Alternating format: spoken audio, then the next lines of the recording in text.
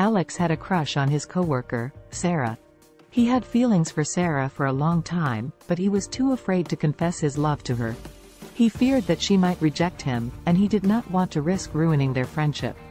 Despite his reservations, Alex decided to take a chance and ask Sarah out on a date.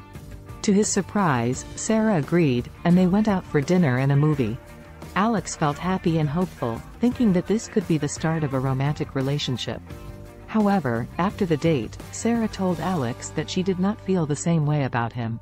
She valued their friendship but did not want to pursue a romantic relationship.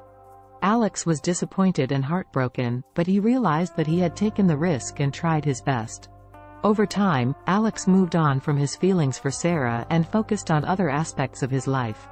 He was proud of himself for taking the chance and asking her out, even though it did not work out as he had hoped.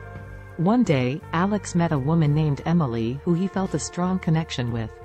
They started dating, and over time, their relationship grew stronger and they got married. If Alex had not taken the risk and asked Sarah out, he would have missed out on the chance to meet Emily. Alex took a chance and asked Sarah out, knowing that he might face rejection. It is better to take a chance and face rejection than to live with the regret of not trying at all. Rejection is always better than regret.